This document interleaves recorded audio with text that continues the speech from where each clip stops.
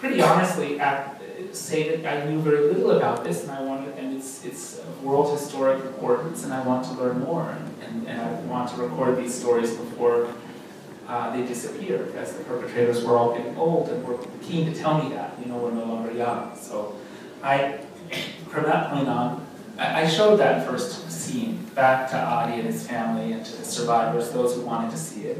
And they all said, you must continue to film the perpetrators. You're onto something terribly important. Anyone who sees the way they're speaking will be forced to acknowledge that in a terrible way the genocide has not ended.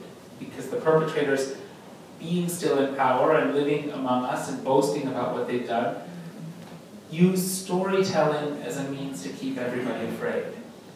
And thereby silent. And, there, and that, of course, enables them to get away with corruption, thuggery, and our lives, meanwhile, millions of survivors' lives, are diminished by fear and broken by fear. And in that sense, uh, although maybe people are no longer being killed, at least with no regularity, although there are periodic human rights violations as though to remind people of the perpetrator's capacity for violence.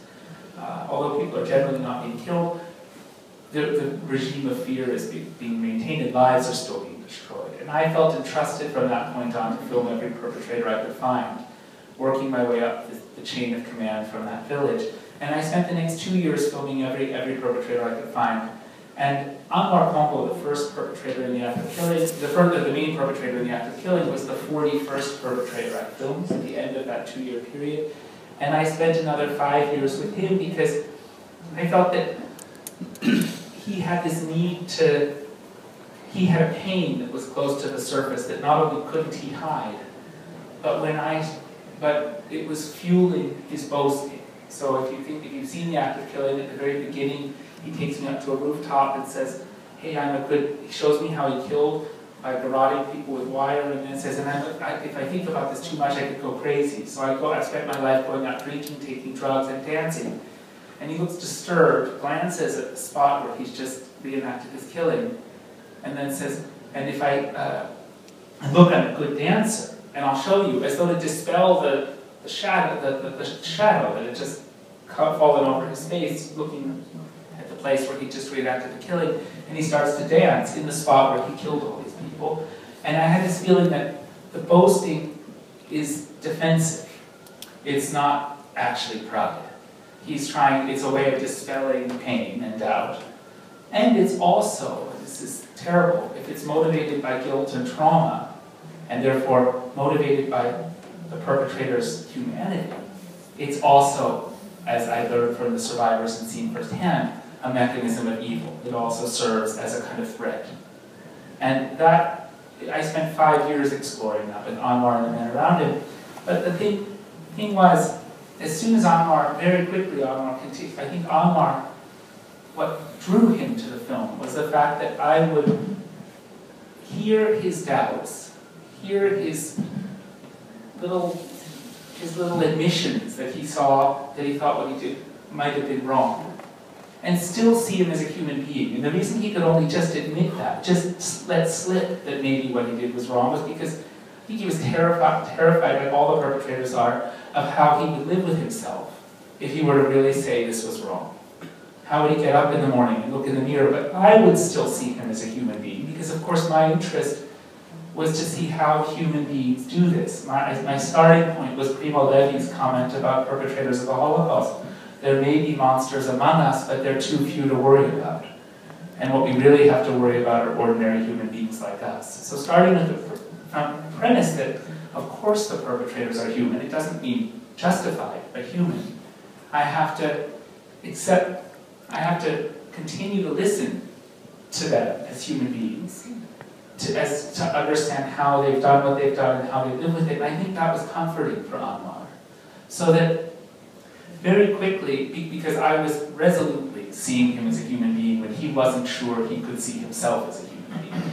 And so over time, the other purpose, Anwar would get deeper and deeper showing you what he'd done and exploring his feelings about what he'd done through the film. Others would doubt. Uh, others would say to him, you shouldn't be making this film. We should stop making this film. It will make us look bad. But Anwar wasn't concerned with looking good. He was concerned with, by that point, being heard and accepted as a human being. or at least sufficiently concerned with that that he would, I think, overcome his doubts and continue.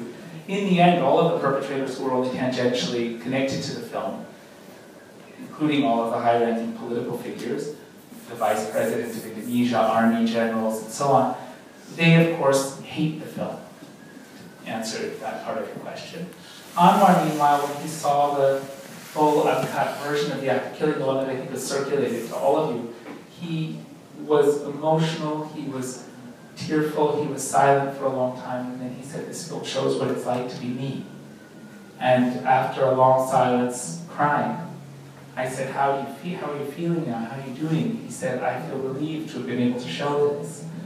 And while I'm not uh, sort of, I don't feel like Anwar's a member of my family the way I do about Adi, Anwar and I care for each other and remain in touch every few months. And, and it's not an easy relationship because of what Anwar's done, really. But we, but we remain, we remain, it will be a part of my life forever, I suppose, because of who he is and, because of the journey we've taken.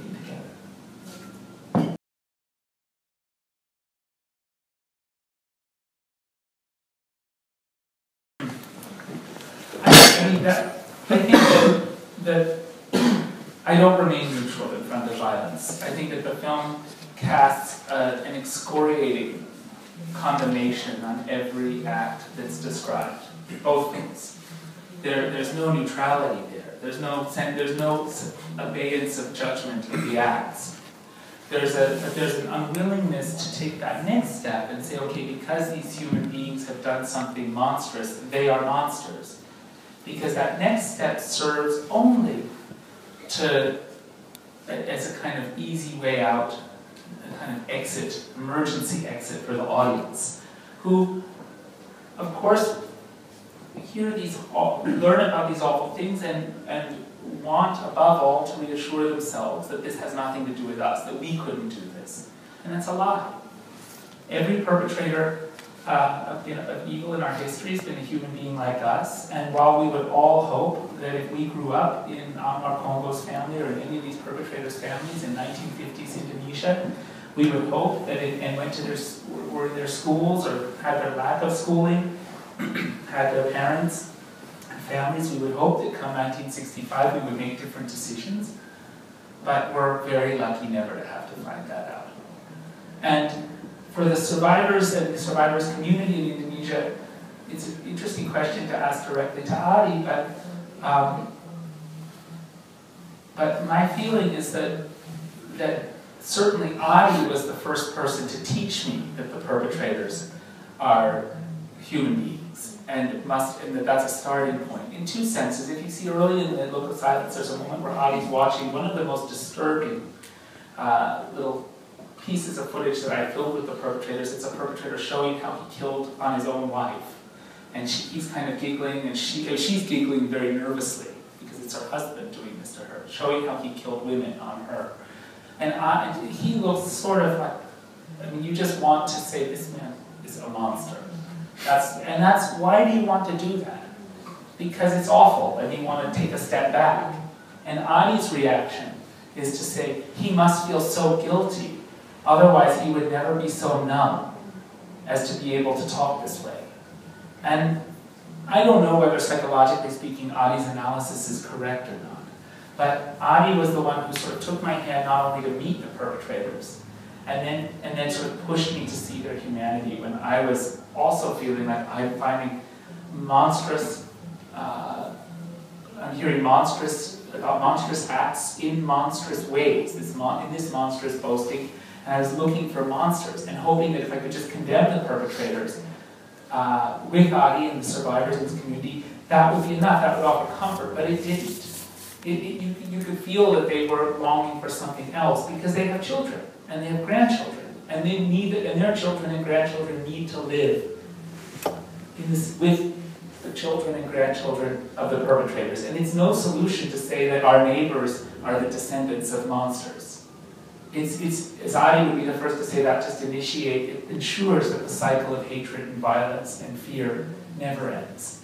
And so in the final confrontation in the Look of Silence, Adi goes and visits the children, two sons and a widow of one of the perpetrators, and his, his intention in going there is to say, look, I know what you did, you know, I mean, I know what your father did or your husband did, you know who I am, because they did know I was Ramli's brother, it was the same village, and it's not your fault what your father did.